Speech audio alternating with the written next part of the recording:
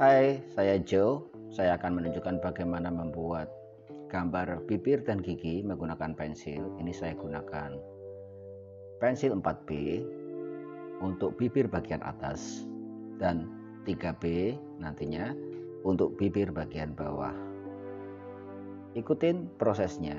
Saya akan tunjukkan bagaimana membuatnya menggunakan beragam grade dari pensil grafit karena masing-masing berbeda dan ini pun tidak mutlak dilakukan karena masih banyak faktor-faktor lain seperti pencahayaan, arah datang sinar dan sebagainya yang tentunya boleh dicoba. Paling tidak pada video ini bisa menjadi referensi buat yang awal menggunakan pensil grafit. Silahkan diikutin dan disimak video ini dari awal hingga akhir ya, karena saya akan menunjukkan perbedaan membuat bibir dan gigi nantinya menggunakan bermacam-macam grade yang akan saya tunjukkan. Terima kasih. Hi, I'm Joe. Uh, in this video, I want to show uh, how to use the uh, various of graphite pencil to draw lips and teeth. You can watch from start to the end uh, and enjoy my video. I will show you the process uh, how to do and how to use the different grade of pencils. Thank you. Ini saya sudah selesaikan bagian atas menggunakan pensil 4B lalu untuk shadingnya saya gunakan 5B seperti yang saya tunjukkan tadi barusan. Nah bagian-bagian gelapnya saya gunakan 5B di sini okay? You can use 5b grade uh, to make the shading of the top lips. Uh, as you see here I show you how to render the darker part of it. Jadi masing-masing berbeda. Sekarang saya gunakan 6B untuk bagian tergelapnya ya. I use uh, 6B grade to the darkest part of it to the detail and editing. Jadi uh, saya gunakan 6B untuk detailing bagian-bagian yang paling gelap sekalipun. Oke. Okay? uh, lanjutkan saja video ini. Jangan di skip. Nanti ketinggalan. Oke okay, saya akan menunjukkan segala proses pembuatannya dari cara yang paling sederhana hingga nanti detailing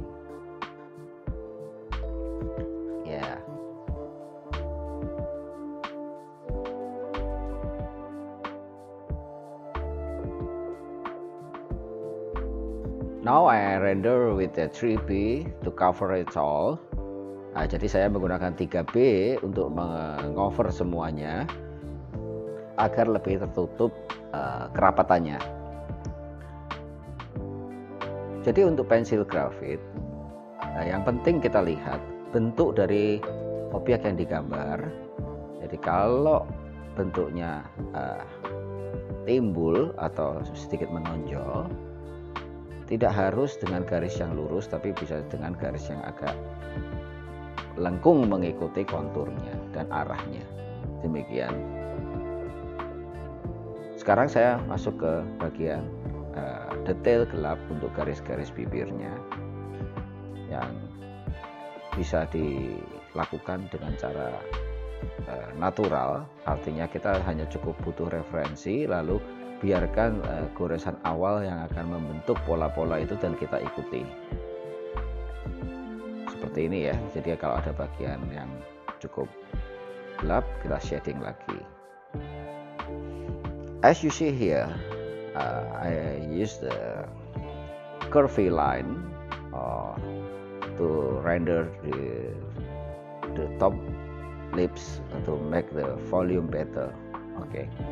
Now for the bottom lips here I follow the contour line and then I will show you uh, render it with a curvy line strokes.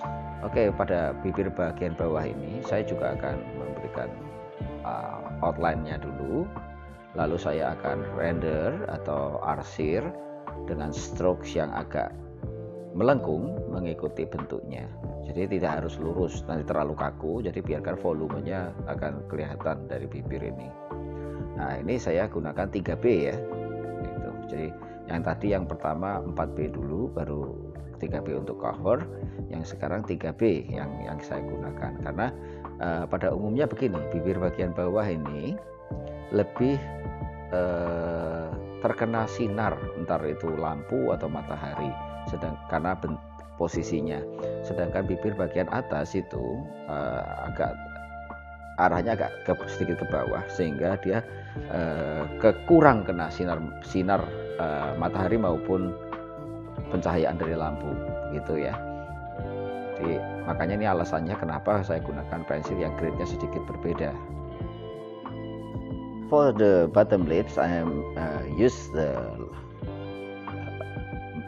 lighter lighter grade of the graphite I use the lighter one because uh, the position of the lips is different the bottom lip is uh, more more lighter ya yeah? oke okay. dan bagi yang tertarik dengan video ini dan menunggu video saya yang selanjutnya support channel ini agar saya bisa memberikan tips lainnya pada video saya jadi yang mau like silahkan like. Yang mau subscribe silahkan. Tidak pun tidak apa buat saya. Oke? Terima kasih sudah mendukung menyaksikan video ini. Semoga bermanfaat. Ikutin proses keseluruhan selanjutnya. If you like my video you can support my channel and like this video or you can share it to your friend. Uh, but for me I say thank you because you already watch my video Oke.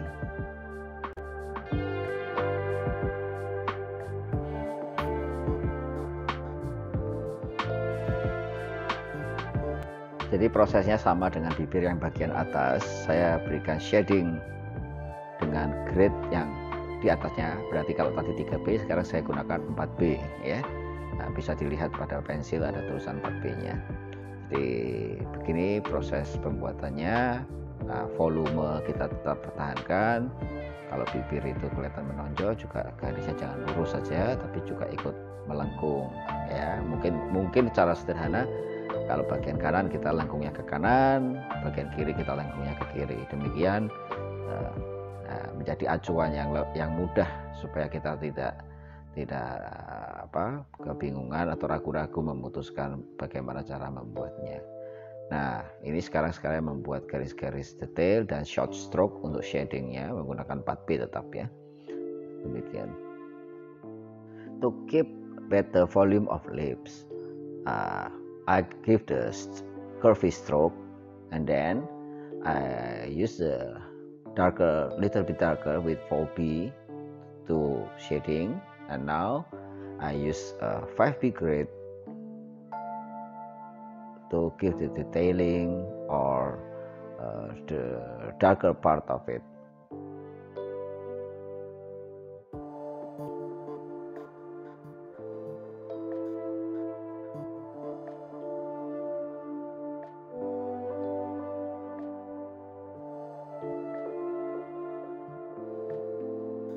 saya gunakan 2B untuk memperhalus so I use 2B grade for a pencil to make it smooth.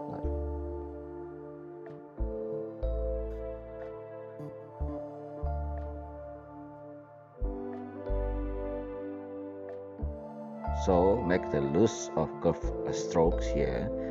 Never push hard uh, keep light stroke okay?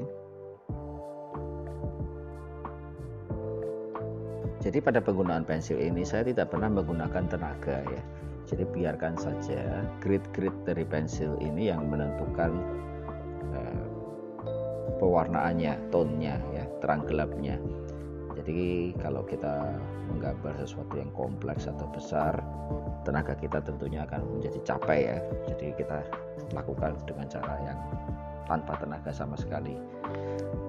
Oke, pada bagian ini saya akan gunakan pensil yang paling gelap ya 8B ya, supaya untuk efek kedalaman mulutnya lebih kelihatan ya. Now I use uh, 8B grade or the darkest part of the mouth yeah inside the mouth yeah so I give the highlight using the mono zero eraser uh, to, to, make the strong firm uh, of line white line I mean oke okay. jadi saya gunakan mono zero ini hanya untuk membuat uh, goresan putih yang cukup kuat ya. tapi masih ada cara untuk membuat ini lainnya yang akan saya tunjukkan pada pembuatan video ya. Tidak hanya satu penghapus yang saya gunakan di sini. Ya, berbeda-beda tentunya. Nah, ini monosiro memang bagus untuk detail-detail kecil. Nah, lalu saya akan kombinasikan untuk mengangkat layer dari warna.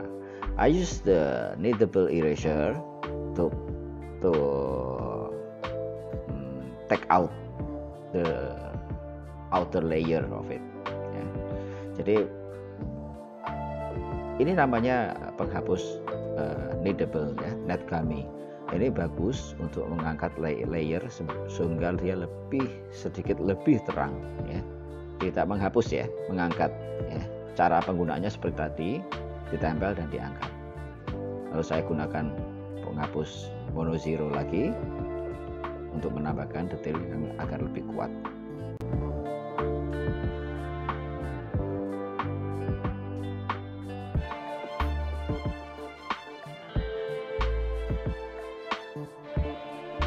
The best one for the highlight is the electric eraser I.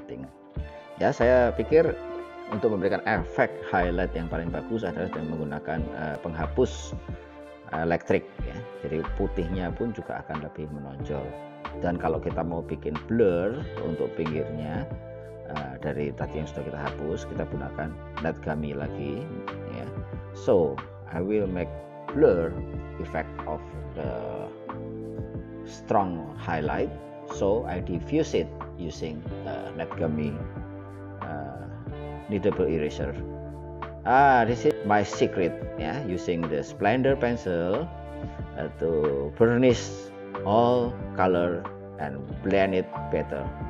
Oke, okay, inilah rahasia yang pensil yang saya gunakan yaitu Splendor pensil.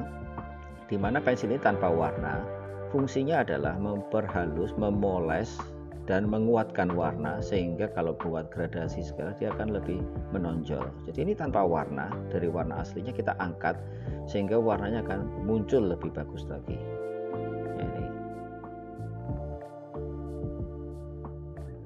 you see here the difference of it after I using the splendor pencil the lips are better oke okay, jadi pensilnya sangat kuat efeknya sehingga warna-warna bibir ini akan lebih keluar inilah rahasia yang selama ini saya gunakan oke okay. eh, saksikan terus karena akan saya akan tunjukkan lagi cara-caranya karena ini baru bibirnya saja uh, bagian giginya belum ya jadi saya bermain di grade B untuk bibir nanti grade H untuk gigi. I use uh, B grade for lips and then I will use uh, H grade uh, to render the, the teeth.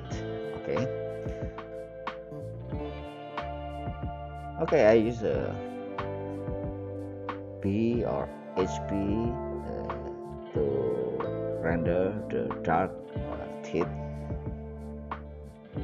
and then I give the detailing using this pencil oke okay, saya gunakan pensil ini hanya untuk membuat bagian-bagian gelap bagian pada gigi ya yang yang nantinya memang tidak terlalu banyak kena pencahayaan dan beberapa detail gelapnya saja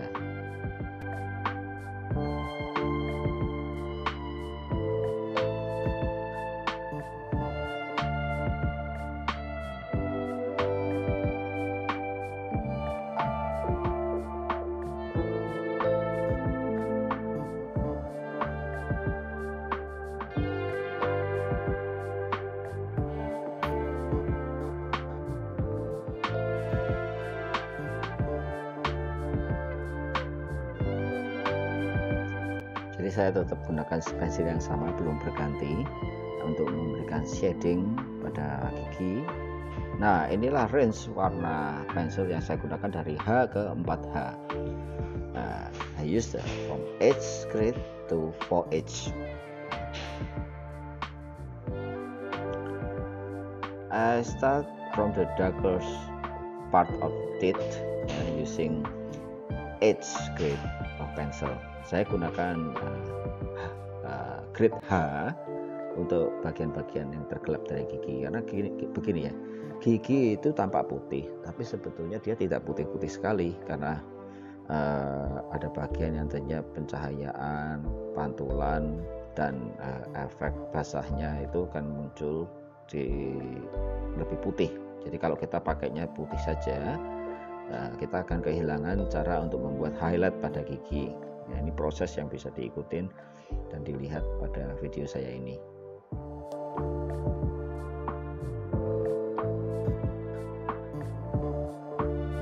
Bagi pemula yang baru belajar, perhatikan cara saya memegang pensil. Saya memegang pensil tidak pada ujung grafitnya, tapi agak sedikit jauh supaya tenaganya juga berkurang hingga goresan-goresan kita lebih halus lagi. Perlu diingat grid H dari pensil itu adalah uh, keras ya atau tajam. Ya. jadi jangan gunakan tenaga sama sekali untuk untuk proses pembuatan ini. Uh, remember it uh, when you use the H grade of pencil don't use your uh, strength power. Ya. You hold the pencil uh, little bit uh, far to to reduce the power of your hand yeah because the light uh, uh, still need uh, to stroking with the hard pencil grades okay? Nah pada pensil saya saya memang sengaja membuatnya tampak grafit pensilnya banyak. Itu bukan untuk gaya-gayaan bukan tapi untuk menghindari putus supaya saya bisa mengontrol tenaga saya ya.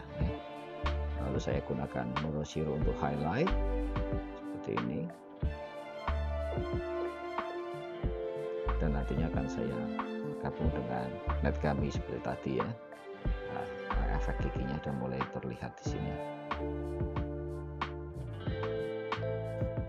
Lalu saya gunakan splendor untuk mengurangi ketajaman. I use the splendor pencil to reduce the edge of pencil. Nah, demikianlah proses dari yang saya buat. Kiranya video sederhana ini dapat menginspirasi dan membantu yang baru belajar. Uh, I hope you enjoy with my video and thank you for watching my video. Nah, akan saya tunjukkan hasil akhirnya seperti ini. Oke, okay? this is the final result. Okay, thank you very much for your watching. Ya, terima kasih sudah menyaksikan video ini. Salam dari Joe.